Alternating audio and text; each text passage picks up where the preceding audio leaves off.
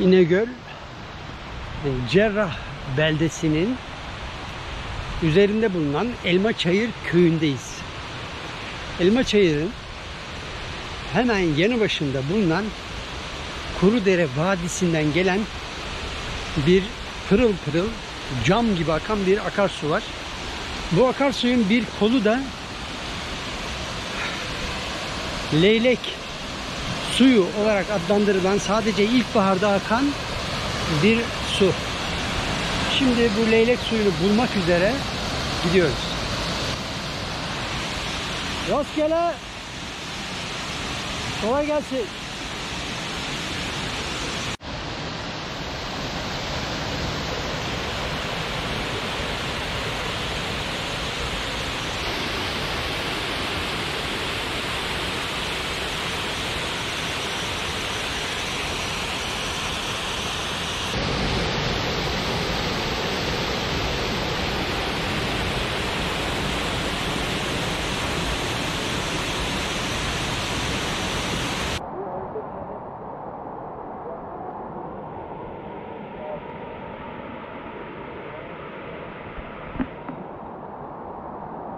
Evet, Elma Çukuru'nda e, leylek suyunu arayışımızı sonuçlandırdık. Leylek suyunu bulduk.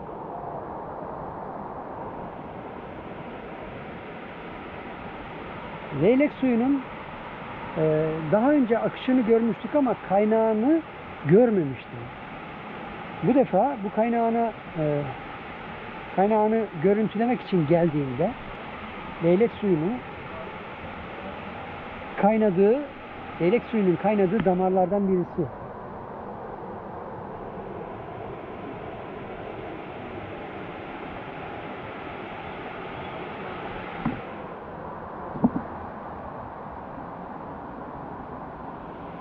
İlkbaharda leyleklerin bölgemize göçüyle akmaya başlayan bu pınar ilerleyen aylarda yaza doğru çekiliyor, kayboluyor. Oradan gelen bir isim, bir at leylek suyu. O kadar berrak bir su ki, o kadar da soğuk bir su.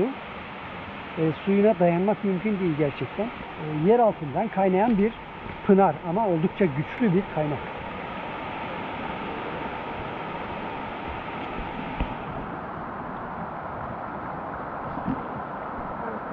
Çok berrak bir su ve çok soğuk bir su. Evet. Kaynıyor. Leylek suyu.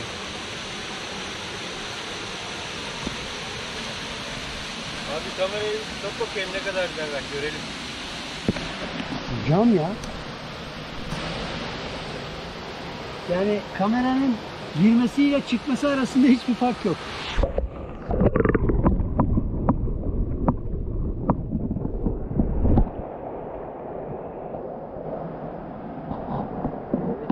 Asıl damar orada.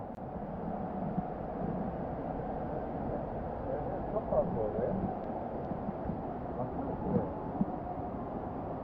Yok. Suyun ana kaynağı Uludağ'daki karlar. Evet. Bu su yeraltı, Uludağ'daki eriyen karlar yeraltı göllerine ulaşıyor. Bunlar taşıntılar. Yeraltı göllerinin taşıntıları. Bunun akabilmesi için yukarıda Uludağ'da karların erimesi lazım. Burada inşaat ve lodos yağmurlu havaları var nedeniyle bu göller taşabiliyor. Hava soğuduğu an bıçak gibi kesiliyor. Yani karların eridiği dönemde akan bir Karların eridiği dönemde akan bir geçici bir su. Evet. Örneğin bunun benzeri 12 ay akıyor.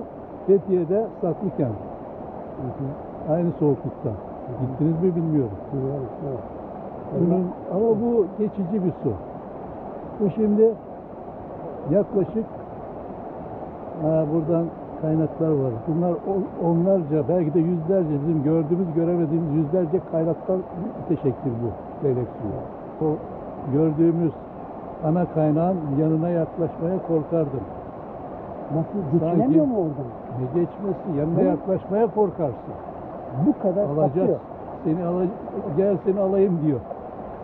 O en Lodos da coşkulu. çok etkiliyor bunu. Lodos tabii. Lodos demek sıcak demek. Sıcak Evet, evet. demek kar erimesi demek. Yani birden bir e, aşırı bir su ortaya çıkıyor. O suyu su ortaya çıkıyor. Siz Bunu da benim, nerelisiniz?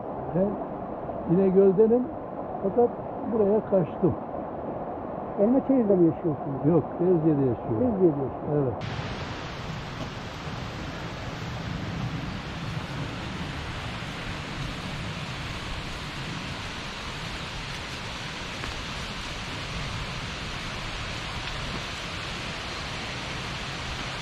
Böyle deyince kestim bizi. Bilemiyorum.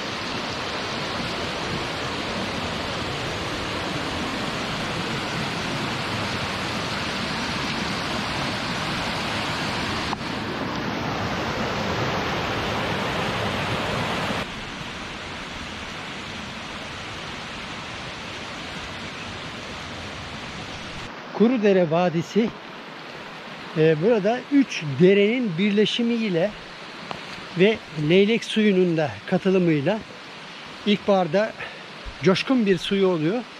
Kuru Vadi, Kurudere Vadisi'nin içine doğru ilerliyoruz.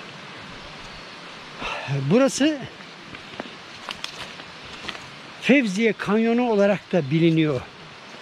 Yöre halkı tarafından Fevziye Kanyonu olarak adlandırılıyor. Bu gördüğümüz kaya duvarlar Uludağ'ın son uzantıları. Uludağ kaya sisteminin son uzantılarını oluşturuyor. Elmaçayır köyünde bu uzantı sona eriyor.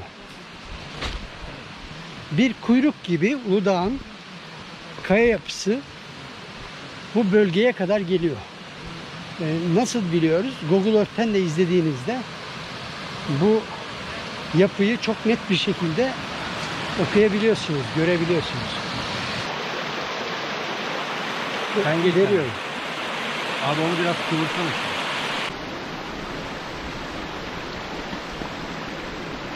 Yalnız yağmur yağıp bu su debisini yükseltirse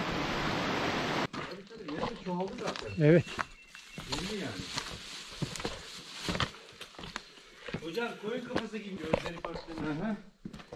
Ama sonra çok kısa sürdü o algı. Evet.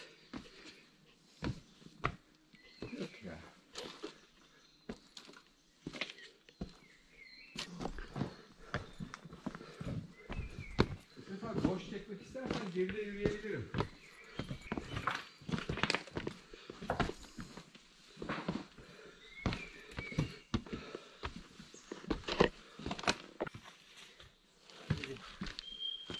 Görürüz diye.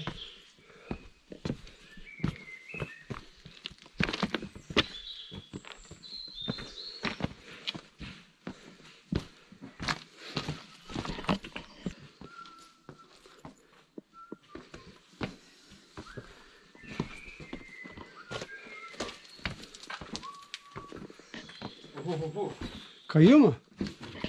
Islakmıştır.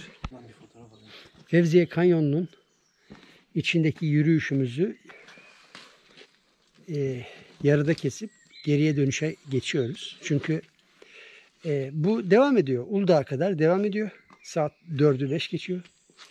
E, geri dönme zamanı. Kanyonun içindeki bu doğayı izledik. Görüntüledik ve dönüyoruz.